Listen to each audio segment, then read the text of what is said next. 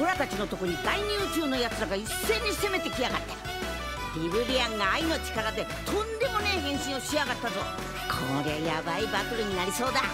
17号18号おめえら2人の連携攻撃を見せてやれ。次回「ドラゴンボールスーパー愛の大決戦人造人間 VS 第二宇宙」絶対見てくれよな。